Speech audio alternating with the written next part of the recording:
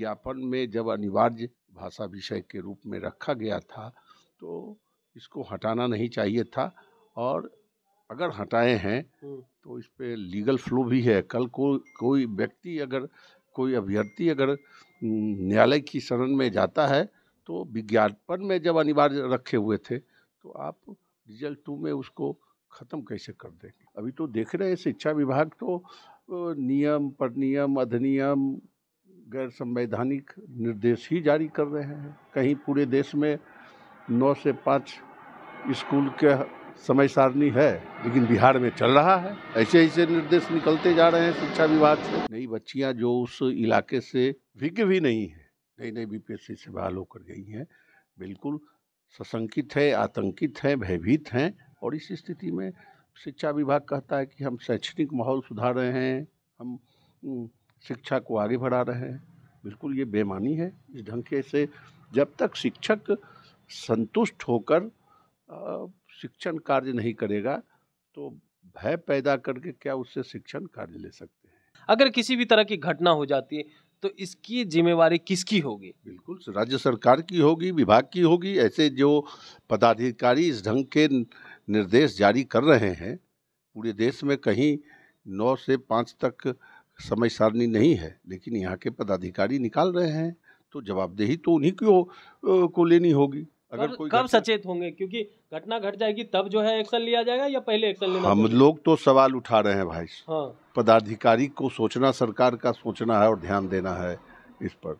हम लोग मुख्यमंत्री से समय मांगने का प्रयास कर रहे हैं व्यस्तता उनकी है लेकिन अच्छा। इसी बीच में हम लोग कई विधान पार्षदों के साथ हम लोग एक शिष्टमंडल मिलेंगे हम्म। और इन बातों को भी हम कहेंगे। यानी तमाम शिकायत के, के पाठक को लेकर के करेंगे आप?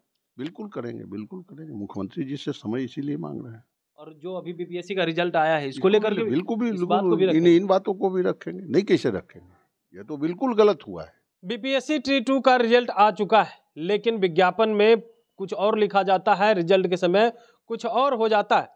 भाषा की अनिवार्यता विज्ञापन के समय में थी, लेकिन रिज़ल्ट आने से पहले भाषा की अनिवार्यता समाप्त कर दी गई। अब इसके बाद कट ऑफ़ हाई चले जाते हैं तो शिक्षक संघ और शिक्षक अभ्यर्थी काफ़ी नाराज़ हो जाते हैं।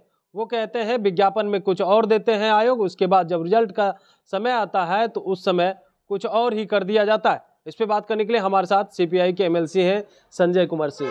कैसे देख रहे हैं, जिस तरह से भाषा की अनिवार्यता को समाप्त कर दिया गया, कट ऑफ़ हाई चले गए अब बीपीएससी शिक्षक भर्ती। बिल्कुल, विज्ञापन के समय में जब भाषा विषय को अनिवार्य रखा गया और करीब करीब हम समझते हैं बिहार में सभी तरह की जो परीक्षाएँ होती हैं बीपीएससी के द्वारा अन्य के द्वारा तो भाषा तो विषय ऐसा चीज़ है कि उसकी तो अनिवार्यता तो रहनी ही चाहिए जो पहले से थी भी और इसीलिए बीपीएससी के विज्ञापन में भी इसको अनिवार्य रूप में रखा गया।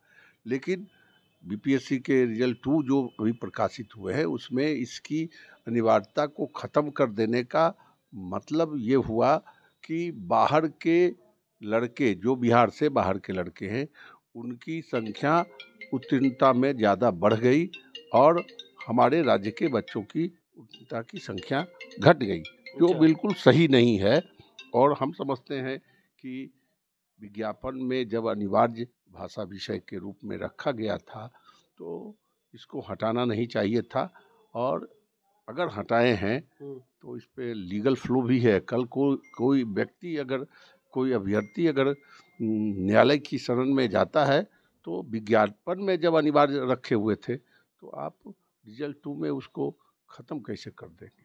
यह बिल्कुल गलत आयोग ये अचानक निर्णय कैसे ले लेते हैं? पहले कुछ और रहता है बाद में कुछ और हो जाता है। बिल्कुल गलत हुआ है। अगर हुआ है अचानक निर्णय तो अभी तो देख रहे हैं शिक्षा विभाग तो नियम पर नियम अधिनियम गैर संवैधानिक निर्देश ही जारी कर रहे हैं। कहीं पूरे देश में नौ से पाँच स्कूल के समय सारणी है, लेकिन बिहार में चल रहा है। ऐसे ऐसे निर्देश निकलते जा रहे हैं शिक्षा विभाग से।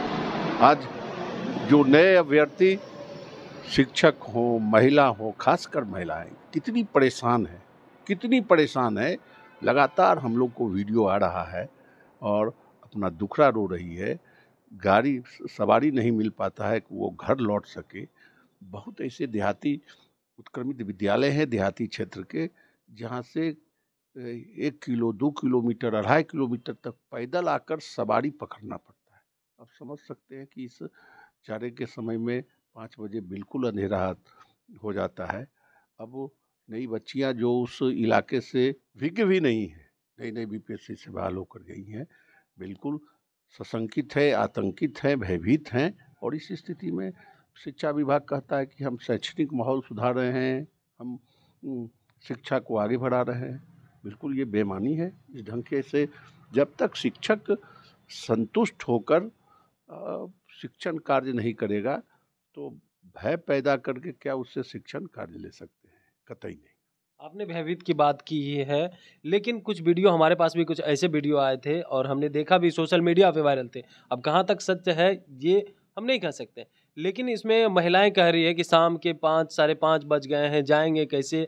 अगर किसी भी तरह की घटना हो जाती है तो इसकी जिम्मेवारी किसकी होगी? बिल्कुल राज्य सरकार की होगी, विभाग की होगी। ऐसे जो पदाधिकारी इस ढंग के निर्देश जारी कर रहे हैं, पूरे देश में कहीं नौ से पाँच तक समय सारणी नहीं है लेकिन यहाँ के पदाधिकारी निकाल रहे हैं तो जवाबदेही तो उन्हीं को को लेनी होगी। अगर कोई कब सचेत होंगे? क्योंकि घटना घट जाएगी तब जो है एक्शन लिया जाएगा या पहले एक्शन लेना हम लोग तो सवाल उठा रहे हैं भाई। हाँ। पदाधिकारी को सोचना सरकार का सोचना है और ध्यान देना है इस पर। हम लोग मुख्यमंत्री से समय मांगने का प्रयास कर रहे हैं व्यस्तता उनकी है लेकिन अच्छा। इसी बीच में हम लोग कई विधान पार्षदों के साथ हम लोग एक शिष्टमंडल मिलेंगे हम्म। और इन बातों को भी हम कहेंगे। यानी तमाम शिकायत के, के पाठक को लेकर के करेंगे आप? बिल्कुल करेंगे बिल्कुल करेंगे। मुख्यमंत्री जी से समय इसीलिए मांग रहे हैं। और जो अभी बीपीएससी का रिज़ल्ट आया है इसको लेकर के बिल्कुल भी इन, इन बातों को भी रखेंगे। नहीं कैसे रखेंगे? ये तो बिल्कुल गलत हुआ है। बिल्कुल गलत हुआ है। बिल्कुल। बिहार के बच्चों के साथ। बिहार के बच्चों के साथ बिल्कुल बिल्कुल गलत हो रहा है। लेकिन बाहरी बच्चों को जो रिज़ल्ट हो रहा है उस पर भी अब सवाल हो रहे हैं कि बाहरी बच्चों को क्यों दिया गया? क्या बिहार में बेरोजगारी रह जाएगी? इसी तरह अगर इस ढंग इस ढंग की स्थिति लगातार रही नियुक्तियों में तो सही बात है कि बिहार के बच्चे बेरोजगार तो रह ही जाएँगे। फिर रोज़गार किस तरह की? सोच सकते समझ सकते सरकार इसलिए इसको इसको इसको इसको इसको इसको पुनर्समीक्षा करनी चाहिए। जो सही बात है कह रहे हैं सरकार का विरोध नहीं कर रहे हैं। अच्छा। यह तो सरकार का एक बड़ा अचीवमेंट है कि पूरे देश के स्तर पर बिहार ही एक ऐसा राज्य है जिसने इतनी बड़ी संख्या में एक साथ एक लाख बीस हज़ार समथिंग शिक्षकों बहाली निकाले लेकिन सिर्फ़ बिहार के लिए क्यों नहीं पूरे देश के लिए क्यों? ये होना चाहिए ये होना चाहिए। था और सदन में भी हम इसकी मांग करते रहे। बीजेपी वाले तो कह रहे हैं कि नीतीश कुमार पीएम बनने के चक्कर में पूरे देश के लिए खोल दिए जबकि ऐसा किसी राज्य में नहीं है। अब ये तो राजनीतिक सवाल बीजेपी क्या कहता है और नहीं कहते हैं बीजेपी के नेता उस पर तो मेरा कोई वक्तव्य नहीं होगा कमेंट नहीं होगा लेकिन होना चाहिए अपने राज्य के बच्चों को प्राथमिकता मिलनी चाहिए। क्योंकि हमारे राज्य के बच्चे बहुत बड़ी संख्या में बेरोजगार हैं और जो महागठबंधन की सरकार है उसका कमिटमेंट भी है कि हम बिहार के बच्चे बेरोजगार बच्चों को हम नौकरी देंगे और दे भी रही है सरकार दे भी रही है। लेकिन उसी में इन चीज़ों को देखने की आवश्यकता है। इन चीज़ों को देखने की आवश्यकता है क्योंकि जिस तरह से बहाली निकल रही है और बाहरी छात्रों का हो रहा है, उसको लेकर के भी कहा है कि देखिए, सबसे पहले प्राथमिकता बिहारी बच्चों को देना चाहिए, नहीं तो ऐसे में बेरोजगार तो बिहार में रह ही जाएँगे। Kamlesh Kumar, live Bihar Patna live Bihar YouTube पर सब्सक्राइब और फेसबुक पर लाइक ज़रूर करें।